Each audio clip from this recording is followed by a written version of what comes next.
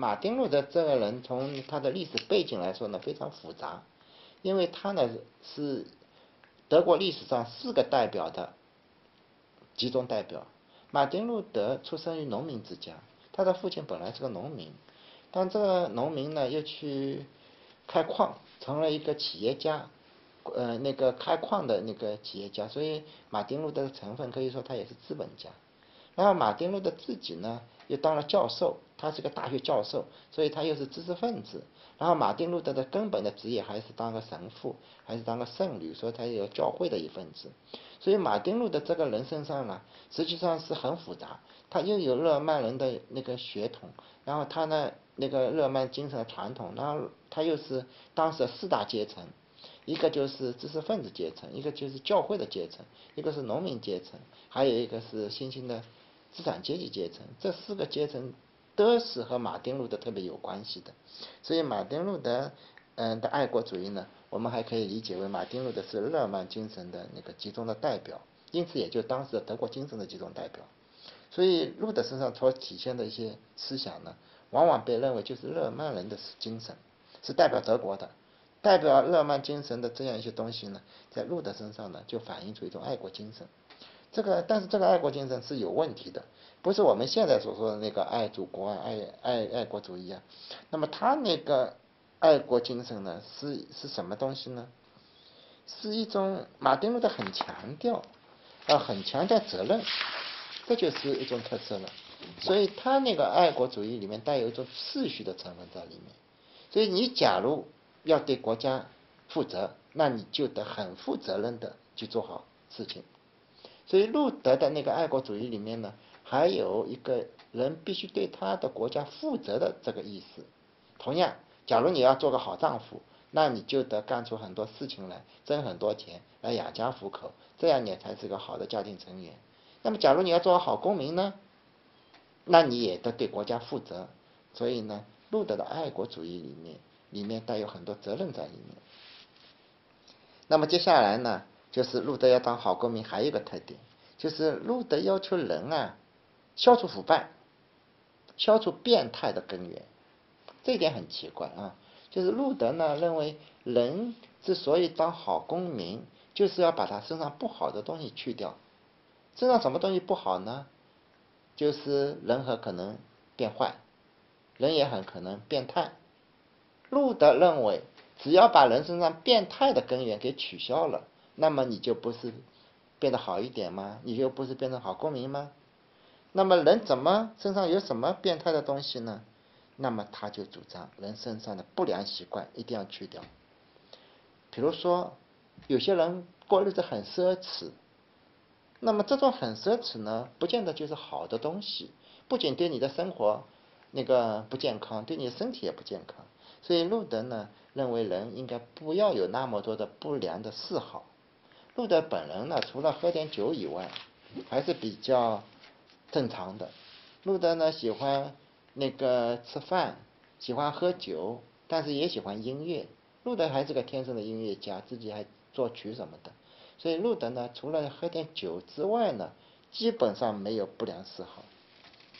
那么路德呢，也不喜欢人脾气太暴躁，也不希望人太说疯话。所以路德有个概念是很重要的，就是好公民必须是做一个健康生活的人。健康的人说穿了。就是要消除人身上的缺点，消除那些导致你变态的原因。路德认为身边有很多变态的人，这种变态的人往往是由社会原因造成的。所以人的变态，你必须要从制度上去了解他。那么你从制度上去了解他呢，你才能消除变态。那么一个就是你要节俭，你要比较勤奋，比较节俭。第二个呢，你要消除僧侣的独身主义。僧侣经常会搞腐败。其中一个就是禁欲主义、独身主主义呢，就造成了圣女的变态。那你就让圣女结婚好了。那么你让圣女一结婚，他们就不会搞腐败了，那么就没有变态了。你就不就消除了变态的根源吗？还有一些人喜欢苦修，以为苦修也是好的。那你越苦修，你越越容易出错。呃，你越苦修，自己弄得很变态，你却以为这是接近接近神的方法。路德认为不对，路德认为人与神的那个接触啊，是一个很愉快的沟通问题，不是把你自己苦修弄得人非常不像人，那个时候才是与人与神那个接近。说你去苦修啦，呃，东西也不吃，水也不喝，嗯，每天自己在虐待自己，这样不仅见不到神，而且把你自己宝贵的身体也弄坏了。所以呢，路德认为应该消除禁欲主义，应该取消苦修主义，应该取消修道院。那么这样一来呢，人不就也正常一点吗？可以当好公民了。另一个情况就是路德认为有些人本来就是人，但却要抬高自己，把自己变成神，结果就往往会导致一种结果，用神的标准来要求自己。那是不是你对自己要求太高了，弄得太苛刻了？假如你本来就是个人。你做人就好了，但是你要装神，那会不会给你造成很大的心理压力？结果弄得你很变态。所以这个就是路德认为这也是不对的。假如一个人明明是人，那你却要把自己当成神的代表，那一定会给你带来很大的精神负担。那么这种精神负担会造出很多诡异的现象。有些事情就是标准弄得太高了。我们知道中世纪的人的理想里面呢。往往会对人寄予过高的期望，过高的期望，你明明是个人，你需要一把自己当神，结果给自己造成了非常大的精神压力，弄得你行为举止很诡异。那么路德说，教会就是一个人间的机构，圣女只是一份职业，这样呢，他就解放了很多人的非分妄想造成的精神压力，所以这样呢，也使人变得正常了。那么路德。还认为人间天国这个概念是不对的，他觉得这个标准太高，是个理想，不是现实。他说人间就是人间，你怎么可以建造一个天国呢？人带有这么伟大的理想，你做得成吗？他也觉得这个要求把人的拔高了，这是神做的事情，天国不是人可以创造的。神花了那么多力气才造出个天国来，人怎么可能造天国呢？那你标准如此之高。是不是也给自己的压力太大了？那么这样一来呢，你就不安分了，不安分呢，你就会遭，就不能当一个好公民了。所以呢，他反对那个人间天国的观点呢，有一点也是他从好公民的、有信仰的好公民的这个做法。还有一点，路德也反对教条主义，他觉得人有的变态是由于教条主义影响的。什么叫教条主义呢？就是仪式，拉丁语，什么东西这是按照法律，至少这里有三个东西，一个法律，你每做一件事情就要想一想，我有没有违背法律啊？然后你写篇文章一下，我有没有语法错误啊？是不是写好的拉丁文啊？还有一个情况，你想想，哎呀，我有没有犯什么规矩啊？还有你读书，哎呀，我这书是不是读的最好啊？那么明明不要想那些问题，你就好好做人好了。你休息好了，想读书就读点书。你心中是虔诚的，你就认为自己基本没错。你不要去想，你是不是哪个礼拜你没有去做礼拜，你该忏悔的时候没有去忏悔，呃，你该做的仪式你没有去做好仪式，你结婚没有到教堂里去结婚，你想那么多是干什么？那些东西照路德来看，都叫做形式主义，或者叫教条主义。如果人身上有那么多的束缚，人就是不自由的。不自由的人容易变态。于是路德就大大的简化了所有那些仪式。他说：“圣经里没有的东西不是神圣的呀，你不要去做呀。”那么路德这样一种，呃，取消了很多种的那样一种，取消了很多种的那种仪式呢，实际上就是反对那种教条主义，反对那种本本主义，反对那种。我们刚才所说的什么东西呢？都有规矩的，他这这个不可能。法律路德也做了解释，说法律是好的，但是你每件事都不犯规，只能满足你的最低要求。你以为你每件事情都不犯规，你就能灵魂得救吗？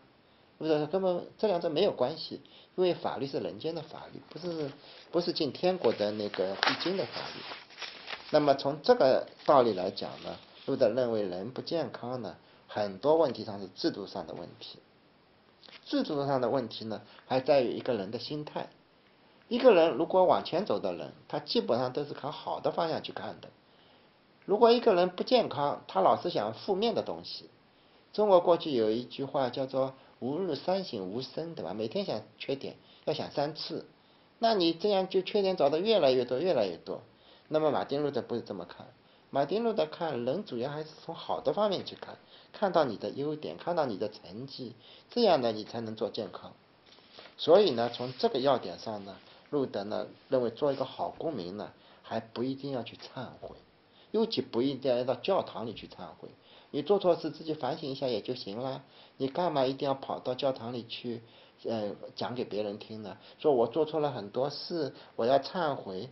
忏悔是不是你专门去，呃，想你的负面的东西？你就专门说我犯了什么错，然后你要听一个人来对你说你做的事情是错了，你应该付出代价啊。路德认为忏悔礼这个东西是不必要这么进行的。为什么要取消忏悔礼呢？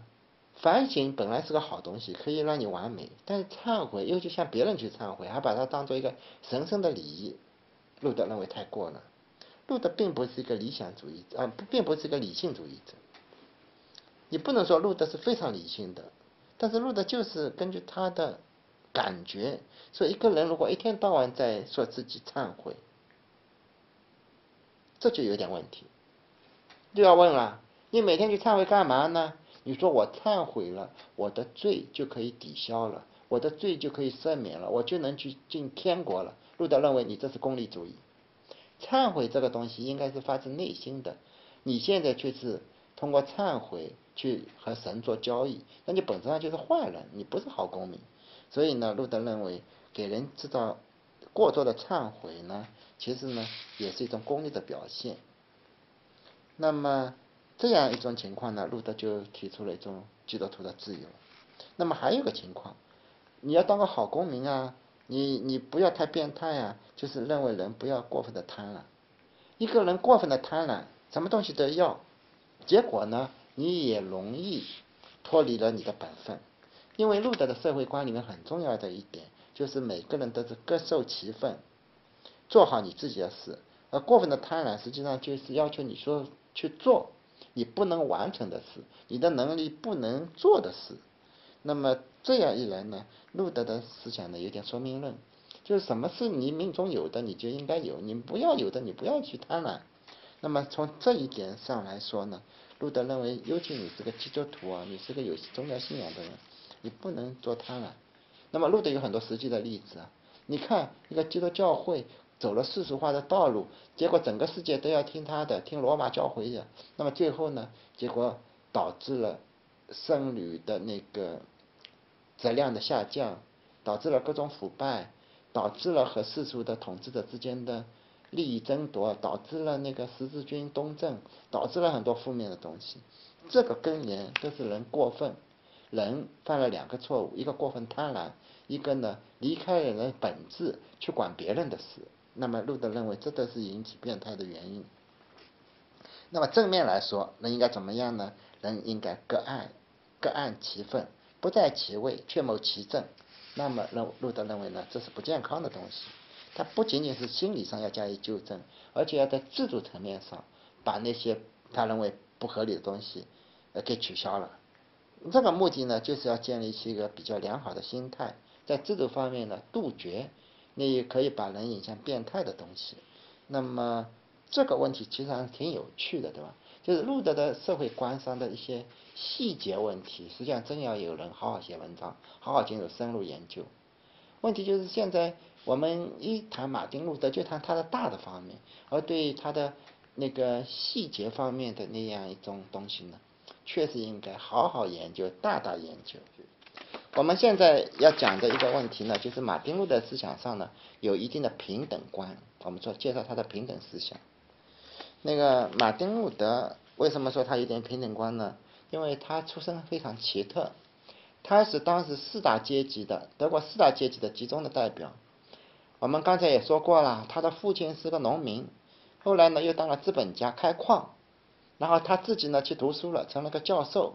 最后呢，他还是个圣女，是个神职人员，所以呢，他代表了那个农民，呃，知识分子，呃，教会，还代表了那个资本家。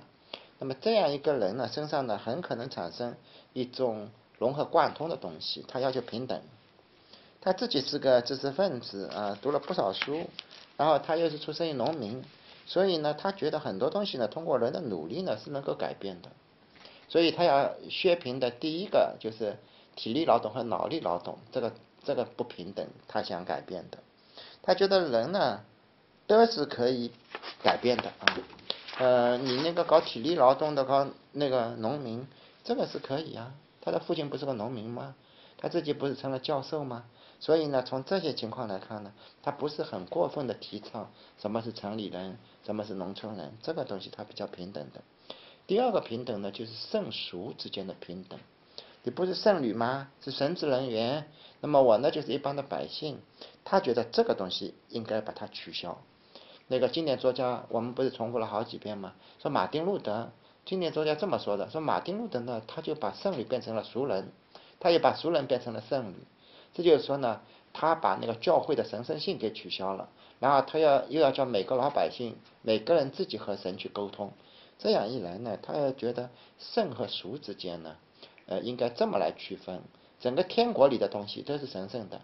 而整个在人世间存在的东西都是世俗的，那么教会没有神圣性，教皇没有神圣性，神职人员没有神圣性，那么一般的人只要你和神圣的神去接触，你就自然会从神那里得到那种力量，所以这就是他要抹杀那个神圣之间的区别。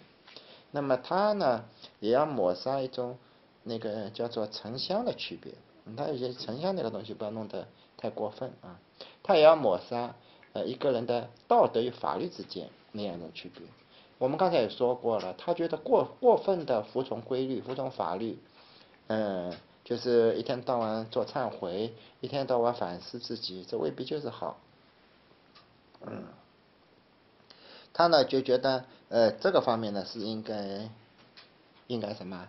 应该取得一种社会和谐的，所以从这个一点上来呢。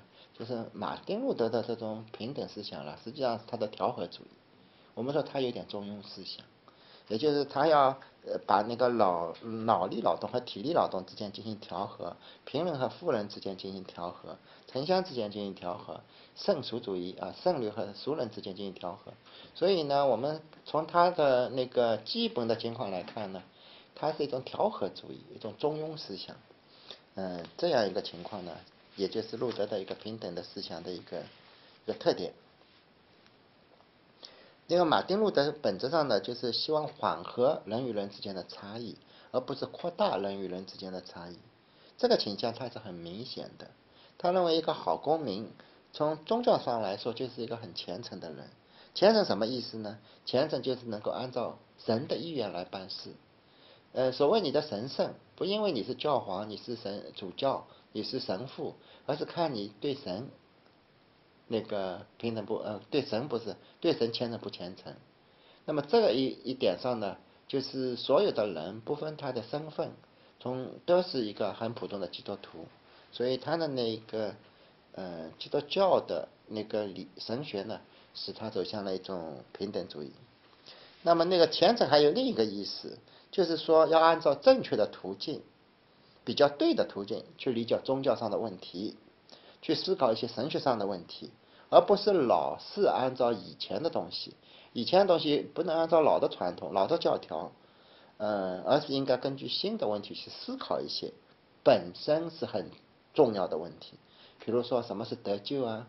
什么是因信称义啊？什么是善功啊？究竟人应该怎么来思考这些重要的问题啊？那么这些问题呢，通过他的仔细的思索呢？而且呢，他还是个很好的演说家，他能够那个雅俗共赏的把那些东西呢讲演给大家听，结果呢就比较容易接受。那么在马丁路德的平等观里还有个东西，就是他的天职的观念，他把所有的职业都看成是平行的，没有高低之分的。也就是说，你当个老师，那你把课讲好，你教书就是你的神圣的职业；那你是个农民，你把田种好，那么你种田就是你的神圣的职业。这样一来呢，职业与职业之间呢就没有贵贱那个上下之分了。那么这也是马丁路德呢那个把神圣的把职业神圣化，最后所产生的一种平等主义。那么这样一种宗教基督徒谁是重要的基督徒，谁不是基督徒呢？他不是按照你的社会地位来划分的。同样，你从事什么职业呢？他也没有认为哪种职业高一点，哪种职业低一点。所以从这么一些情况来看呢，马丁路德呢就是认为呢，那个他实际上是一个比较强调平等的这样一种人。那么说马丁路的社会观里的另一个问题，就是我们刚才已经提到的，就是他的中庸。路德是一个中庸主义者、调和主义者，他老想把对立的东西来调和。